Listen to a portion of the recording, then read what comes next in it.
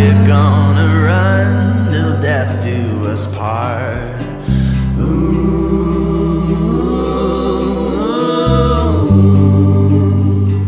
let's tell the world.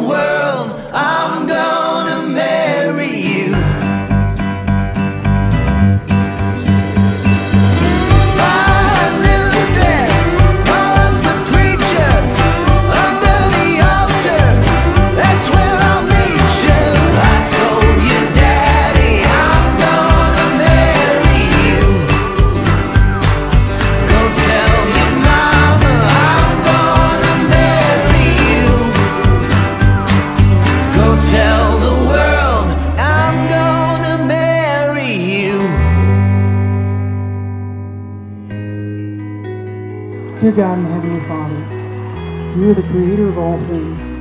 You crafted us with love and care and you made us male and female to love each other. We offer you praise and thanks today for this gift of love and life and for the honorable estate of marriage which you designed to unify a man and a woman. Please be with us this day. Calm our hearts from distractions. Overwhelm us with your care and your peace and your joy as we celebrate this moment of this man and this woman coming together. In Jesus' name, amen. There is a light that burns brighter than the sun. He steals the night and casts no shadow. There is hope. Should oceans rise and mountains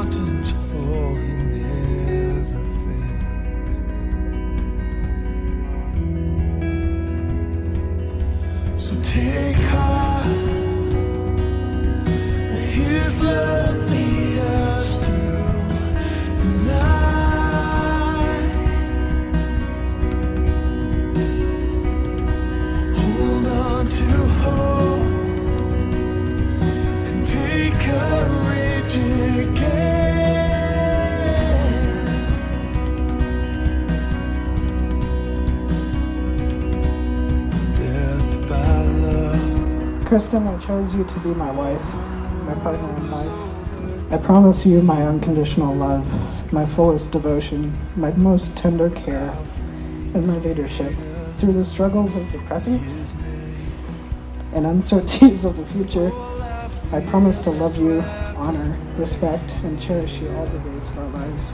You're everything I need, and at this moment, I feel that all my prayers are answered. I know our love is heaven sent, and I promise to be here forever and always.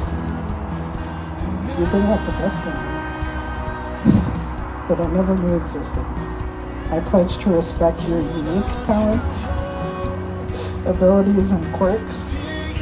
Yes, your annoying habits too. And I will lend you strength to reach your dreams. And I promise to take care of you, to encourage and inspire you, asking that you be no one other than yourself. From this day forward, you're not going to walk alone. The Lord is our God, and He will always be blessed in our house. My heart will be your shelter, and my arms will be your home. Forever and always.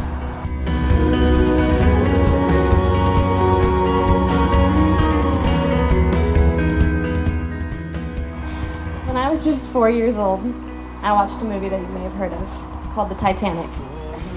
And for the first time ever, I fell in love with a man named Leonardo DiCaprio. Since then, I've fallen in love many times, but in all those years of drooling over teen idols, I was really daydreaming about you, my future husband. What was your name? What did you look like? When would we finally meet? Then one day at a local coffee shop, all those questions were answered. Benjamin, you're my best friend. Thank you for showing me your full support, for loving me endlessly, and for making me laugh daily. You are the person I know I can go to when I'm feeling overwhelmed, stressed, or unworthy. Thank you for making me feel beautiful. Thank you for showing me that I am worth more than what I believe sometimes. Thank you for continuously drawing me closer to God. I'd like to say in front of all our friends and family that I forgive you for making me watch P.S. I Love You, even though I cried for three hours straight after that movie. But really, I can't wait to start a life with you, to build a home with you, raise a family with you, and continue to date and go on adventures with you for the rest of our lives. I love you.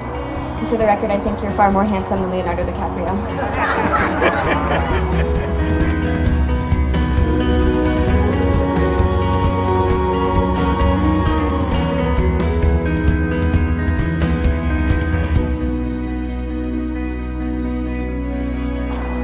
It is now my distinct pleasure to introduce to you a new creation in marriage, Mr. and Mrs. Benjamin Forrest.